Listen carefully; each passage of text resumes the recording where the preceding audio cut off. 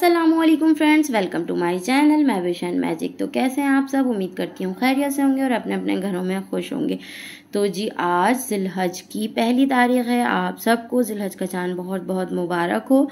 आप सबको पता है, जिलहज साल का आखिरी महीना है और ये बहुत ही हुरमत वाला महीना है। कुरान में भी इसका ज़िक्र हुआ है। इस दस दिन की बहुत ज़्यादा फजीलत है। तो जी, इससे रिलेटेड मैं आपको कुछ इंपॉर्टेंट चीज़ें बताऊँगी।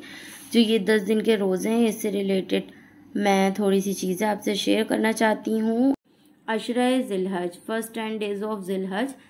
एक से लेकर नौ तक के जो रोज़े होते हैं, उनकी बहुत ज़्यादा फजीलत है। इसके जो फजीलत है, वो मैं आपसे शेयर करूँगी और उसके बाद हम ईद मनाते हैं जिसको हम ईद अज़हा कहते हैं विच इज़ कॉल्ड बकरा ईद। तो ये जो दस दिन के रोज़े हैं, ये इसकी बहुत ज़्यादा फजीलत है। नबी करीम सल्लल्लाहु अलैहि वसल्लम कभी भी ये दस दिन के रोज़े नहीं छोड़ते थे। तो हज के इब्तदाई दस दिन के जो अमाल हैं, वो अल्लाह ताला को इतने पसंद हैं, दूसरे कोई अमाल पसंद नहीं है, यहाँ तक कि जहाद भी नहीं। तो इससे रिलेटेड एक सही मुस्लिम की रिवायत है।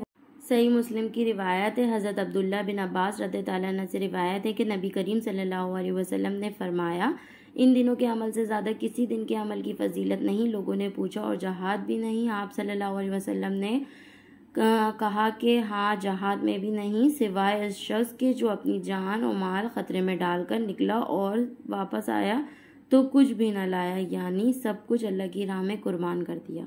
इन दस दिनों की बहुत ही अहमियत है। ये महीना बहुत ही फजीलत वाला महीना है। इस महीने में जितना हो सके ज़्यादा से ज़्यादा इबादत करें। रोज़े रखें, कुरान पढ़ें, नवाफिल अदा करें और नेकी फैलाएँ। योम अरफा यानी नौ जिलहज का रोज़ा। नबी करीम सल्लल्लाहु अलैहि वसल्लम से योम अरफा यानी नौ जिलहज के रोज़े के बारे में पूछा गया। तो आप सल्लल्लाहु अलैहि वसल्लम ने फरमाया, इस दिन का रोज़ा गुज्त साल और आइंदा आने वाले साल का के गुनाहों का कफ़ारा है।